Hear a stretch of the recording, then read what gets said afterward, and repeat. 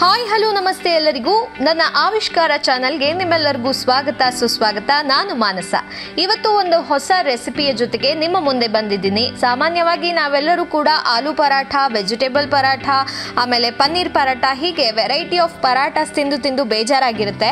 ಆದರೆ ಇವತ್ತು ನಾನೊಂದು ಹೊಸ ಪರಾಠವನ್ನ ನಿಮಗೆ ಮಾಡೋದನ್ನ ತೋರಿಸ್ತಾ ಇದ್ದೀನಿ. ಹೇಗೆ ಮಾಡೋದು ಅನ್ನೋದನ್ನು ಕ್ವಿಕ್ ಆಗಿ ನೋಡ್ಕೊಂಡು ಬರೋಣ ಬನ್ನಿ.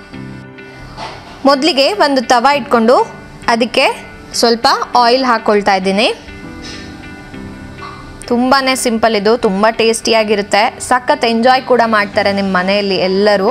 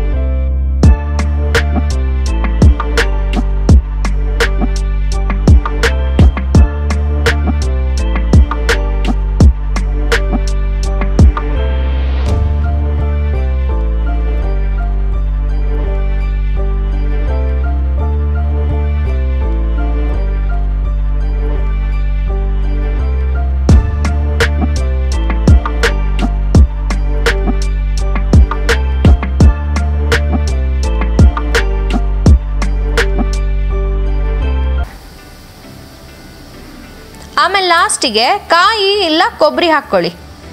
ತುಂಬ ಬೇಡ, ಇದು ಕೂಡ ಸ್ವಲ್ಪ ಅಷ್ಟೇ. ತುರ್ದಿರೋ ಕಾಯಿ ಹಾಕ್ಕೊಳ್ತೀರಾ ಅಂತ ಹೇಳಿದರೆ ಎರಡು ಸ್ಪೂನ್ನಷ್ಟು ಕಾಯಿ ಅಷ್ಟೇ ಈಗ ಇದೆಲ್ಲದು ಆಗಿದೆ. ಎಲ್ಲವನ್ನು ನೀಟಾಗಿ ಮಿಕ್ಸಿ ಜಾರಿಗೆ ಹಾಕ್ಕೊಂಡು ನೈಸಾಗಿ ರುಬ್ಕೊಂಡು ಬರೋಣ. ಇನ್ನೊಂದು ನೆನ್ಪಿಟ್ಕೊಳ್ಬೇಕಾಗಿರೋದು ಏನಂದರೆ ಇಲ್ಲಿ ನೀವು ಸ್ವಲ್ಪ ಕೂಡ ನೀರು ಹಾಕ್ಕೊಳ್ಬಾರ್ದು. ಯಾಕೆ ಅಂತ ಹೇಳಿದರೆ ನಾವಿದನ್ನ ಪರಾಟ ಸ್ಟಫಿಂಗ್ ಥರ ಮಾಡ್ಕೊಳ್ಬೇಕು. ಸೊ ನೀರಾಗ್ಬಿಟ್ರೆ ಏನಾಗುತ್ತೆ ಅಂದರೆ ಪರಾಟ ಎಲ್ಲ ಹರಿದೋಗ್ಬಿಡುತ್ತೆ. ಅದಕ್ಕೋಸ್ಕರ ಸ್ವಲ್ಪ ಕೂಡ ನೀರು ಹಾಕ್ಕೊಬಾರ್ದು. ನೋಡಿ, ಅದರಲ್ಲೇ ನೀರಿನ ಅಂಶ ಇದೆ. ಅದೇ ಹೆಚ್ಚಾಗುತ್ತೆ. ಈ ಥರ ಗಟ್ಟಿಯಾಗಿನೇ ರುಬ್ಕೊಂಡು ಬಂದಿದ್ದೀನೀಗ ಇವಾಗ ಡೋ ತಯಾರು ಮಾಡ್ಕೊಳ್ಳೋಣ. ಅದಕ್ಕೆ ಎರಡು ಕಪ್ಪು ಗೋಧಿ ಹಿಟ್ಟು ಎರಡು ಕಪ್ಪಲ್ಲಿ ಗೋಧಿ ಹಿಟ್ಟು ತೊಗೊಂಡಿದ್ದೀನಿ. ಆಮೇಲೆ ಮೊಸರು.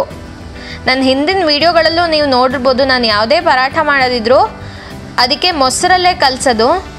ನೀರಿನ ಪ್ರಮಾಣ ತುಂಬ ಕಡಿಮೆ ಇರುತ್ತೆ, ಮೊಸರಿನ ಪ್ರಮಾಣ ಜಾಸ್ತಿ ಇರುತ್ತೆ. ಇದು ಯಾಕೆ ಅಂತ ಹೇಳಿದರೆ, ನಿಮಗೆ ಸೈಡ್ಸ್ ಎಲ್ಲ ತುಂಬ ಸಾಫ್ಟಾಗಿ ಬರಬೇಕು ಪರಾಠದಲ್ಲಿ, ಗಟ್ಟಿ ಗಟ್ಟಿ ಅನ್, ಅನ್ನಿಸ್ಬಾರ್ದು ಅಂತಂದರೆ, ನೀವು ಈ ಥರ ಏನು ಮಾಡಬೇಕು, ಮೊಸರಲ್ಲೇ ಕಲಿಸ್ಕೋಬೇಕು. ಉಪ್ಪು ಹಾಕ್ಕೊಳ್ತಾ ಇದ್ದೀನಿ.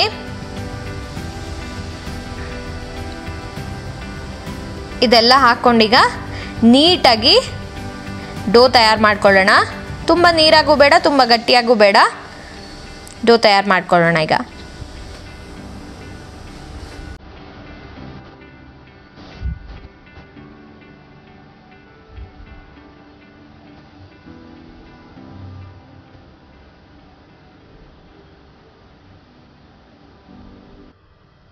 ಬೇಕಾದರೆ ಸ್ವಲ್ಪ ಮತ್ತೆ ನೀರು ಹಾಕ್ಕೊಳ್ಳೋಣ ನೀರನ್ನ ಆದರೆ ಒಂದೇ ಸತಿ ಹಾಕ್ಕೊಳ್ಬಾರ್ದಷ್ಟೆ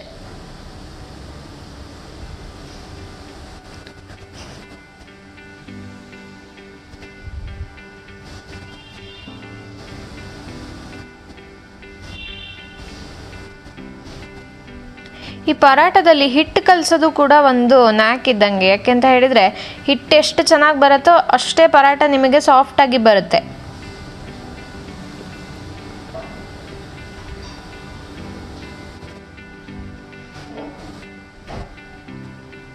ಈಗ ಸ್ವಲ್ಪ ಎಣ್ಣೆ ಹಾಕಿ ಒಂದು ಸ್ವಲ್ಪ ಹೊತ್ತು ಬಿಡಬೇಕು. ನಾ ಕಲಿಸ್ತಾ ನೋಡಿ, ಚೂರು ಕೂಡ ಎಣ್ಣೆ ಹಾಕ್ಕೊಳ್ಲಿಲ್ಲ ಬರೀ ಆ ಮೊಸರು ಮತ್ತು ಆ ನೀರಿನ ಅಂಶದಲ್ಲೇ ಕಲಿಸ್ಕೊಂಡೆ. ಆಮೇಲೆ ಸ್ವಲ್ಪ ಎಣ್ಣೆ ಹಾಕಿ ಒಂದು ಐದು ನಿಮಿಷ ಬಿಡಿ. ನೋಡಿ, ಎಷ್ಟು ಚೆನ್ನಾಗಾಗಿದೆ. ಇದನ್ನೆಲ್ಲ ಈಗ ಈ ಥರ ಉಂಡೆ ಉಂಡೆ ಮಾಡಿ ಇಟ್ಕೊಂಡಿದ್ದೀನಿ. ಏನು ಮಾಡ್ತೀನಿ ಅಂದರೆ, ಇದರಲ್ಲಿ ನೀರಿನ ಅಂಶ ಇರೋದ್ರಿಂದ ನಾನು ಎರಡು ಚಪಾತಿಗಳನ್ನು ತಟ್ಕೊಳ್ತೀನಿ. ಯಾಕೆಂದರೆ ನೀವು ಈ ಒಂದು ಪರಾಠ ಮಾಡಬೇಕಾದ್ರೆ ಮಾಮೂಲಿ ಪರಾಠ ಸ್ಟಫಿಂಗ್ ಥರ ನೀವು ಒಳಗಡೆ ಹಾಕಿಬಿಟ್ಟು ಉಂಡೆ ಮಾಡಿ ಆಮೇಲೆ ಮತ್ತೆ ಒತ್ತಿದ್ರೆ ಅದು ಬರೋದಿಲ್ಲ. ಈ ಥರ ಎರಡು ಚಪಾತಿಗಳನ್ನು ಮಾಡ್ಕೊಳ್ತಾ ಇದ್ದೀನಿ. ಒಂದು ಚಪಾತಿ ಆಯಿತು, ಎರಡನೇ ಚಪಾತಿನೂ ರೆಡಿಯಾಗಿದೆ. ಇದರ ಮೇಲ್ಗಡೆ ಈಗ ನಾವು ಮಾಡ್ಕೊಂಡಿರುವಂಥ ಸ್ಟಫಿಂಗ್ನ ಈ ಥರ ಸ್ಪ್ರೆಡ್ ಮಾಡಿಕೊಳ್ಬೇಕು. ಮತ್ತು ನೀವು ಈ ಥರ ಬೇರೆ ಪರಾಟಗಳನ್ನು ಟ್ರೈ ಮಾಡಿ ನೋಡಿ, ನಾವು ಸಾಮಾನ್ಯ ಮಾಡೋದಕ್ಕಿಂತನೂ ಚೆನ್ನಾಗಿ ಉಬ್ಕೊಳ್ಳುತ್ತೆ. ಒಳ್ಳೆ ಪೂರಿ ಥರ ಉಬ್ಬುತ್ತೆ ಪರಾಟ ನೋಡಿ ಈ ಥರ ನೀಟಾಗಿ ಎಲ್ಲ ಕಡೆನೂ ಒಂದು ಪರಾಟಕ್ಕೆ ಮಾತ್ರ ಹಚ್ಕೊಳ್ಬೇಕು. ಇದ್ರ ಮೇಲೆ ಇನ್ನೊಂದು ಚಪಾತಿನ ಇಡ್ತೀನಿ ಅಷ್ಟೇ ಈ ರೀತಿ ಮಾಡೋದ್ರಿಂದ ನಿಮಗೆ ಚಪಾತಿ ಕೂಡ, ಪರಾಠ ಕೂಡ ನೀಟಾಗಿರುತ್ತೆ, ಮತ್ತು ಹರಿದು ಹೋಗಲ್ಲ ಎಲ್ಲೂ ಕೂಡ. ಈವನ್ ಆಗಿ ಬೇಯುತ್ತೆ. ನೋಡಿ, ಈ ಥರ ಮೇಲೆ ಪರಾಟ ಚಪಾತಿ ಇಟ್ಬಿಟ್ಟು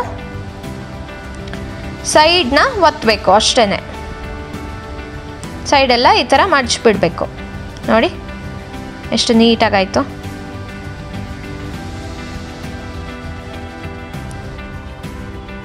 ತುದಿ ಚೂರು ಚೂರು ಮಾಡಿಸಿದ್ರು ಸಾಕು ನೀವು. ಯಾಕೆಂದರೆ ಬಿಚ್ಕೊಳ್ಳಲ್ಲ ಇದು. ತುಂಬ ಪೂರಿ ಥರ ಉಬ್ಬುತ್ತೆ. ಸೊ ಅವಾಗ ನೀವು ಈ ಥರ ಮಡಚಿದ್ರೆ ಬಿಚ್ಕೊಳ್ಳಲ್ಲ ಅದು ಅಂತ ಹೀಗೆ ಮಾಡೋದಷ್ಟೆ. ಆಮೇಲೆ ನೀವು ಮತ್ತೆ ಒತ್ತಬೇಡಿ ಲಟ್ಟಿಸೋ ಅಗತ್ಯ ಇಲ್ಲ. ಈಗ ಇದನ್ನು ಸೀದಾ ನಾನು ತವ ಮೇಲೆ ಹಾಕ್ತೀನಿ. ಮತ್ತೆ ನಾನು ಲಟ್ಸೋದಿಲ್ಲ, ಸ್ವಲ್ಪ. ಒಂದು ಈವನ್ ಆಗಿ ಬರೋ ತನಕ ಇದು ಮಾಡ್ಬೇಕು ಅಷ್ಟೇ ತುಂಬ ಪ್ರೆಷರ್ ಹಾಕಿ ಏನು ಮಾಡಲ್ಲ. ನೋಡಿ ಜಸ್ಟ್ ಟೂ ಟೈಮ್ಸ್ ಅಷ್ಟೇ ಮಾಡಿದ್ದು. ಇವಾಗ ಪ್ಯಾನ್ ಇಟ್ಟಿದ್ದೀನಿ. ಸ್ವಲ್ಪ ಆಯಿಲ್ ಹಾಕ್ಕೊಳ್ಬೋದು ಇಲ್ಲಾಂದರೆ ಬೆಣ್ಣೆ ಇಷ್ಟಪಡೋರು ಬೆಣ್ಣೆ ಹಾಕ್ಕೊಳ್ಬೋದು ಪರಾಟಕ್ಕೆ ಯೂಶ್ವಲಿ ಬೆಣ್ಣೆ ಹಾಕ್ತೀವಿ.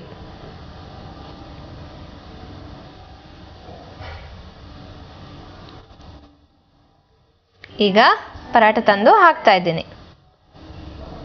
ನೀಟಾಗಿ ಬೇಯಿಸೋಣ ಈಗ. ಮೇಲ್ಗಡೆನೂ ಸ್ವಲ್ಪ ಆಯಿಲ್ ಹಾಕೊಳ್ತಾ ಇದ್ದೀನಿ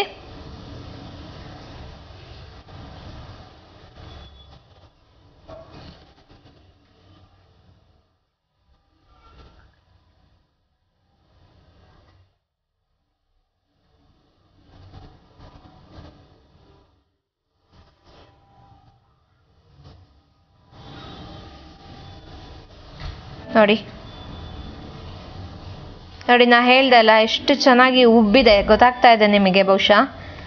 ಎಲ್ಲ ಕಡೆ ಎಷ್ಟು ಚೆನ್ನಾಗಿ ಉಬ್ಬತ್ತೆ ಅಂತ ಹೇಳಿದರೆ, ನೀವು ಈ ಥರ ಎರಡೆರಡು ಚಪಾತಿ ಮಾಡಿ ಹಿಂಗೆ ಒಳಗಡೆ ಸ್ಟಫಿಂಗ್ ಮಾಡಿದರೆ ಮಾತ್ರ ಈ ಥರ ಉಬ್ಬೋದು. ಮಾಮೂಲಿ ನಾವು ಪರಾಟ ಮಾಡ್ದಂಗೆ ಮಾಡಿದರೆ ಉಬ್ಬಲ್ಲ ಇದು. ಎರಡೂ ಕಡೆನೂ ಈಗ ಚೆನ್ನಾಗಾಗಿದೆ. ಪ್ಲೇಟ್ಗೆ ಸರ್ವ್ ಮಾಡ್ಕೊಳ್ತಾ ಇದ್ದೀನಿ ನೋಡಿ, ಇಷ್ಟೇ. ಈ ಪರಾಟ ನೀವೇನಾದರೂ ಮಕ್ಕಳಿಗೆ ನಿಮ್ಮ ಮನೆಯಲ್ಲಿ ಯಾರಿಗಾದರೂ ಇದನ್ನು ತಿನ್ನಕ್ಕೆ ಕೊಟ್ಟರೆ ಮತ್ತು ಇದಕ್ಕೇನು ನೀವು ಸೈಡ್ಸ್ ಮಾಡಬೇಕು ಅಂತಲೇ ಇಲ್ಲ, ಜಸ್ಟು ಉಪ್ಪಿನಕಾಯಿ ಅಥವಾ ಮೊಸರು ಅದ್ರ ಜೊತೆಗೆ ತಿಂದರೆ ಸಾಕು. ತುಂಬಾ ಟೇಸ್ಟಿ ಫ್ರೆಂಡ್ಸ್ ಸಿಕ್ಕಾಪಟ್ಟೆ ಚೆನ್ನಾಗಿರುತ್ತೆ. ಆ ಕೊತ್ತಂಬರಿ ಸೊಪ್ಪು ಮತ್ತು ಆ ಬೆಳ್ಳುಳ್ಳಿದು, ಶೇಂಗಾದು ಫ್ಲೇವರ್ ಎಲ್ಲ ಚೆನ್ನಾಗಿ ಬರ್ತಾ ಇರುತ್ತೆ. ನೋಡಿ, ಒಳಗಡೆ ಕೂಡ ಎಷ್ಟು ಚೆನ್ನಾಗಿ ಕಾಣುತ್ತೆ. ಸ್ಟಫಿಂಗು ಪೂರ್ತಿ ಸ್ಟಫಿಂಗ್ ಆಗಿದೆ. ಪರಾಟ ಕೂಡ ಸಾಫ್ಟ್ ಆಗಿದೆ, ನೋಡಿ. ತುಂಬ ಸಾಫ್ಟ್ ಆಗಿದೆ. ಸೊ ಈ ರೆಸಿಪಿನ ನೀವೆಲ್ಲರೂ ಮನೆಯಲ್ಲಿ ಟ್ರೈ ಮಾಡ್ತೀರಾ ಅಂತ ಅಂದ್ಕೊಳ್ತೀನಿ ಈ ರೆಸಿಪಿ ಟ್ರೈ ಮಾಡಿ ಕಾಮೆಂಟ್ ಬಾಕ್ಸಲ್ಲಿ ಹೇಗಾಯಿತು ಅಂತ ನನಗೆ ತಿಳಿಸಿ. ಮತ್ತು ಯಾರೆಲ್ಲ ನನ್ನ ಆವಿಷ್ಕಾರ ಚಾನಲ್ನ ಲೈಕ್ ಮಾಡಿಲ್ಲ ಸಬ್ಸ್ಕ್ರೈಬ್ ಮಾಡಿಲ್ಲ, ದಯವಿಟ್ಟು ನನ್ನ ಚಾನಲ್ನ ಸಬ್ಸ್ಕ್ರೈಬ್ ಮಾಡಿ. ಧನ್ಯವಾದ.